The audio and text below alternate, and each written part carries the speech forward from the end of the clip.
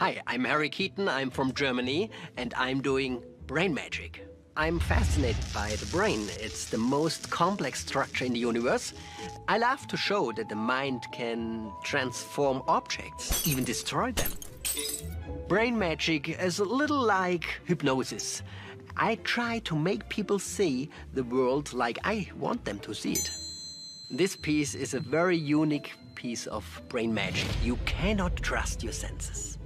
Penn and Teller have never seen something like this, and I think it will explode their minds.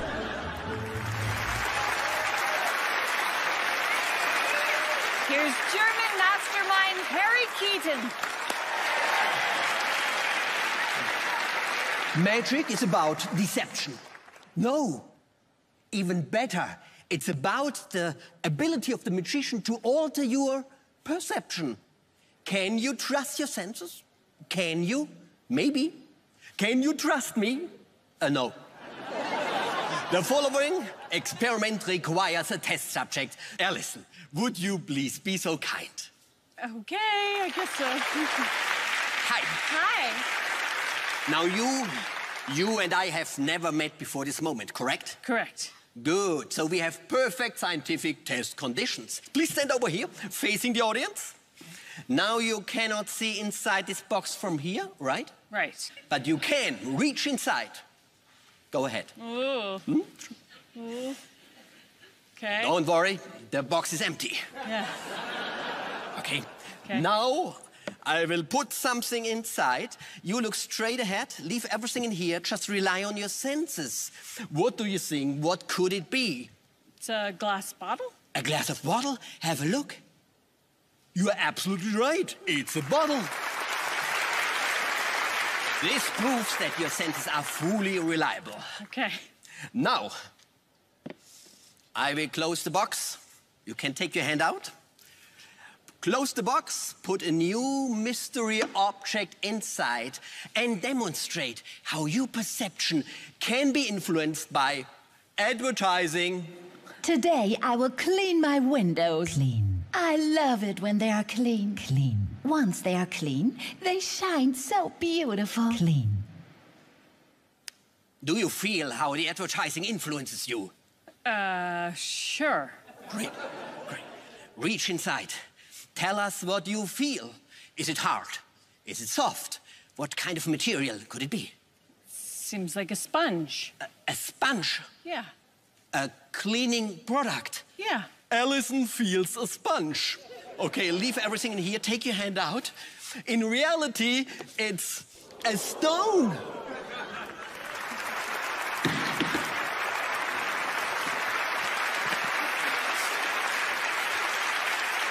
Have a look. That's weird. It is weird. That's my job. now, let's see. Next, let's demonstrate how your perception can be altered by your own brain to make you see things differently. Okay? Reach inside and describe what you feel. What could it be, Allison? Well, it just feels like a stuffed animal. A stuffed animal? Yeah. Like a teddy bear or. Yeah. Wha- whatever, Yeah, whatever. a little teddy bear. a s- Are you sure? Yeah. Okay, interesting. With your right hand, you felt a stuffed animal. Uh, take your hand out. Let's change place. Please stand over here. Okay. Stand over here, right here. All right. Perfect. Now let's use your left hand, okay? Oh. Okay, careful. Okay. Relax, relax. Reach inside. What do you feel with your left hand? Oh. Oh. Uh, like a hairbrush. Li- A hairbrush? A hairbrush. Now you felt with your right hand, you felt a stuffed animal. Yes. With your left hand, you felt a hairbrush. Yes. Okay, uh, and you're sure about this? Okay, uh, take your hand out. Take your hand out. Which side is right? Nice, I would say. It's a cactus. a big, old, prickly cactus.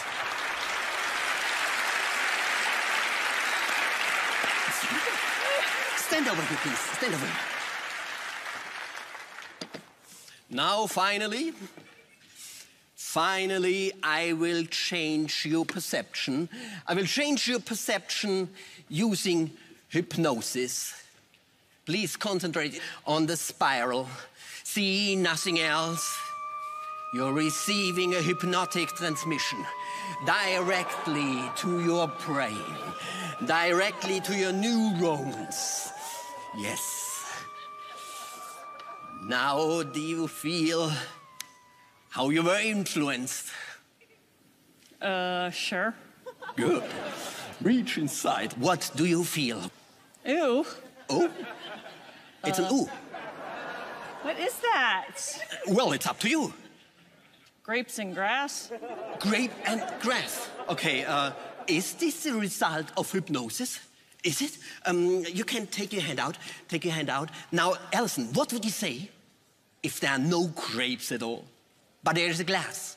And not just any glass, but one filled with wine. take the slider, pull it up all the way out. All the way out. And it is a French Bordeaux. Prost, everyone. Harry Keaton, everybody! Thank you. Oh my goodness! How did you do that? I, don't know. It just happened. Maybe something in your mind. That's You know. crazy. That was absolutely insane because everything that I felt, Yes. I, I really, there was no doubt in my mind Yes. that what I touched, I touched. Okay, Like it was a sponge. It was definitely a hairbrush on that side. Sure. So how did you do it? Well, uh, let me tell, or maybe these guys will tell, uh, but uh, it's a secret. Man. It's a secret, yes. So do yes, you yes. like pissing people off? Well, it's not uh, yeah.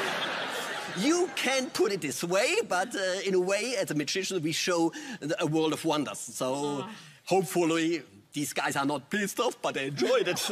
And you invented this. Uh, yes, there were three men involved, but it was due to my initiative that in its final form, it looks like this. And I was able to amaze you. So Yes. Let's see if you invented a way to fool Penn and Teller. yes, let's see. Penn, Teller. Oh man! Well, this is the this is the inventor show.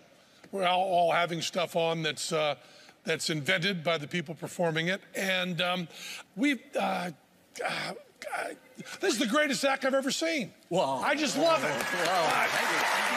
I mean, Wow, that was nice. Thank you. Teller, uh, Teller loved it. The audience loved it, but I, I was at a whole other level. From the moment you started talking, I just, I just dug everything. It was just the whole performance is just beautiful. And the other thing is that um, magic is uh, is uh, almost entirely visual and conceptual. You never get magic that's really tactile. It's the whole act, the, the backbone of it being tactile is uh, is just mind blowing. It's a whole different way to see it. The prop looks clean and simple, and there's just nothing to it. And um, a lot of people who invent, they, they, they stand on the shoulders of giants, but you're not.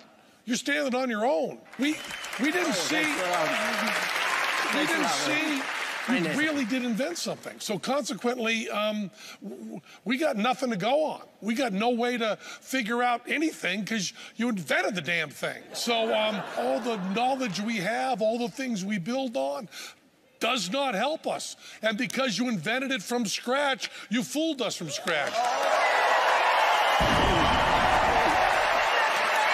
Thank you very much. I really appreciate it. Thanks a lot. Thanks a lot. This act so much. Thank you I very love much. it. Thank you very much. So great. So, Oh, totally there great. it is. Harry Keaton! Thank you very much. Bye, guys. Yo, what's going on guys? Daniel Huckins here. Thanks for watching this video. Um, hope you enjoyed it. Sorry, I know this was supposed to be a tutorial and I planned for it to be, but a lot of people were kind of disappointed with my title of a recent video I uploaded with Penn and Teller Fool because it looked like I said the magician fooled Penn and Teller when he didn't. So I thought it would be only fair that I upload a video of a magician actually fooling Penn and Teller. So this is that video, and um, sorry for the misleading title, um, but it did have a question mark. To be fair, question mark, but sorry about that anyways. And uh, tutorial will be next video. Stay tuned for that. Press the like button, hit the subscribe and bell button as well. I'll see you guys on the next one. See ya.